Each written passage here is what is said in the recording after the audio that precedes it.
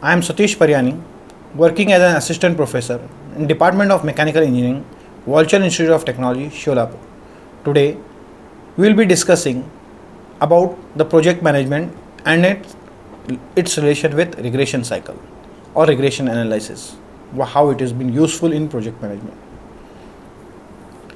At the end of this session, student will be able to apply and analyze linear regression to the problems when they are doing during the project. What are the contents which will be covered? First, there will be introduction, simple linear regression, what are the assumption in linear regression, how to calculate coefficient, example of linear regression, and what how, what are the references being used for this. Introduction. First, what is linear? What is regression first? Regression analysis is a statistical tool for investing the relationship between the dependent variable and one or more independent variable. We as a people you know all are dependent on something else. So there is one dependent and there are certain independent variables. This is causal forecasting model in which the from historical data a functional relationship is being established between the variables and that is being used to forecast dependent values this technique is used for finding causal effect relationship between variables. Relationship example relationship between the rash driving and road accidents. Yes, there is a relationship. Regression analysis is an important tool for modeling and analyzing data. Hence, we fit the curve line of data points in such a manner that difference between data points from the curve or line is minimized. That delta is being minimized. Application area the application areas is throughout we can say. First is engineering second is management as we are discussing here in project management and life cycle and biological sciences physical and chemical science economics social science. So these are some of important areas now we will discuss simple linear regression model. Simple linear regression model establish a relationship between dependent variable y. We say a dependent variable y with one or more independent variable x using the best fit straight line also which is known as regression line. The simple linear regression model is y is equal to a plus bx plus e where y is response variable x is regression variable b is slope e is error a is intercept. Please go through this formula once again. Response variable is equal to intercept plus slope into regression variable plus error. Error can be positive or negative.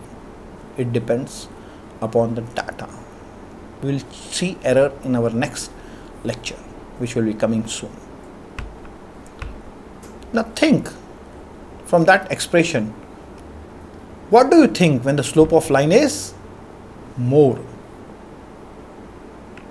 Slope of line is more. A is intercept. B was the slope at that moment of time. So the greater the magnitude of slope the steeper the line means greater the rate of change. The greater the magnitude of slope the steeper the line means greater the rate of change now assumption in linear regressions. Linear regression model before we will start in the project management it is being used. It is based on six fundamental basic assumption. The dependent and independent variables show the linear relationship with the slope and intercept. This is the first major basic assumption. The independent variable is not random. It has certain way of working. It do not works haphazardly it has certain process of working we will say the independent variable. The value of residual that is error is zero. The value of residual error is constant across all observations. The value of residual error is not correlated across any observation what we will making. The residual error values follow the normal distribution. The first and foremost important here the data follows the normal distribution if the data is not normal we cannot go for linear regression model. How to calculate the coefficient? How to obtain the best fit line or value of a first we need to obtain a and b? The task can be easily accomplished by least square method. It calculates the best line which is fitted or observed data by minimizing the sum of squares of vertical deviations from each data point to the line. Because the deviations are first squared when added, there is no cancelling out, out between the positive and negative values. Let us see with the help of example. These are formulas which can be easily available. n is summation of xt dt minus summation of xt into dt divided by n summation of x square t minus summation of xt square where a intercept can be found out summation of dt minus b summation of xt whole divided by n where d is a plus bx and n is number of periods. We'll see with one example.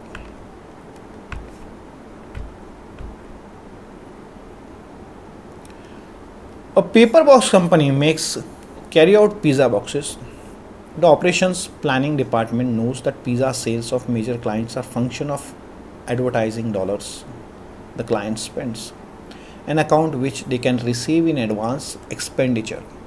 Operation planning is interested in determining this relationship between client sales and advertisement because they want to set up the new factory, I'll say.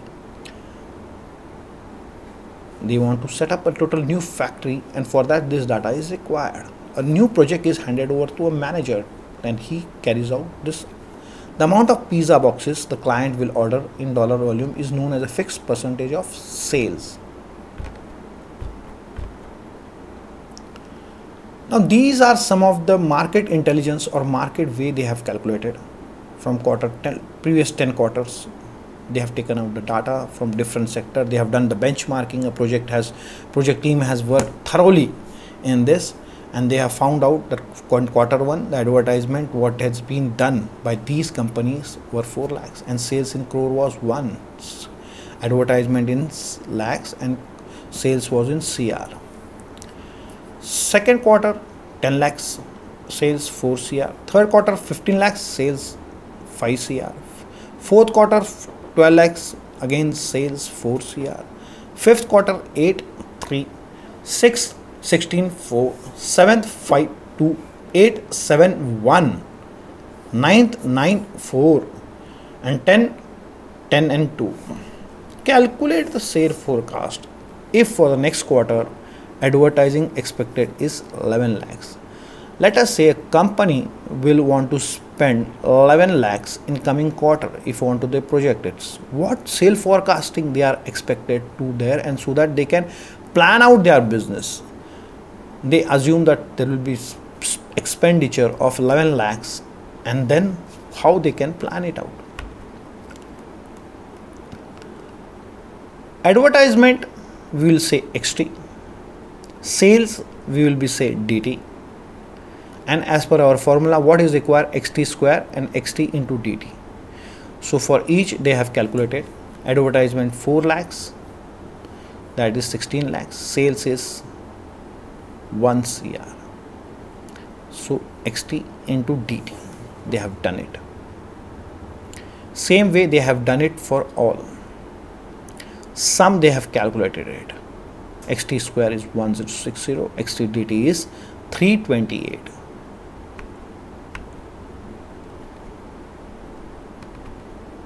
Putting the values, the intercept b can be found out with the help of formula is 0.29 that is the slope is 0.29 and a intercept is 0.22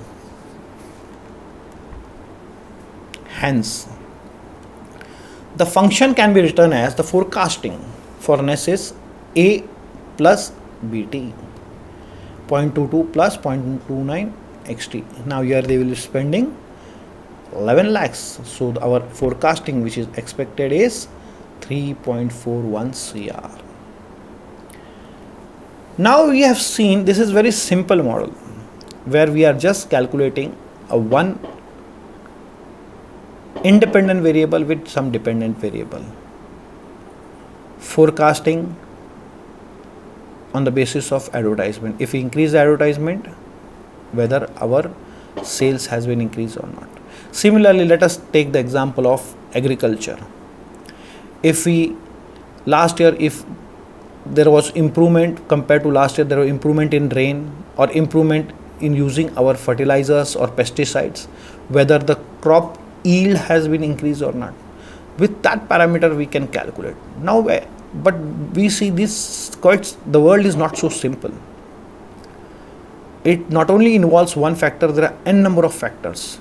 So we will use different methods for this. But for a simple for understanding this when one we want to study the one factors impact on other direct variable we can find out with the help of this thing so references which we use during this is from nptel videos which are available.